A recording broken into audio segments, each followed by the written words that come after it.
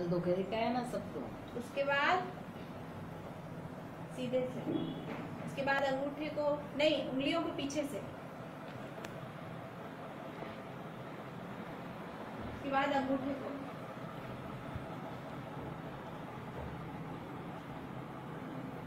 उसके बाद हथेलिया।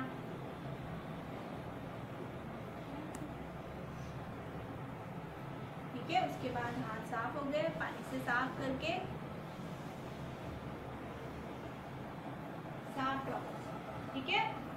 ये देखो जब कचरा तुम डस्टबिन में नहीं फेंकोगे तो क्या होता है?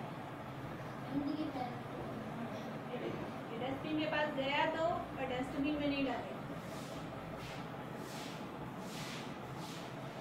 डाल दिया उसके? डस्टबिन के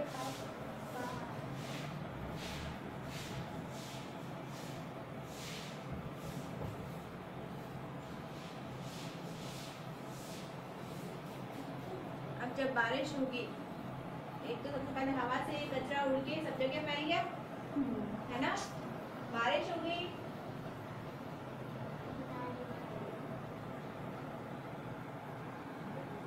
बारिश होगी तो ये सारा कचरा कहाँ जमा हो गया? नाली के पास। नाली ब्लॉक कर दी। नाली ब्लॉक कर दी तो अब पानी कहाँ से जाएगा? नहीं जा पाएगा ना?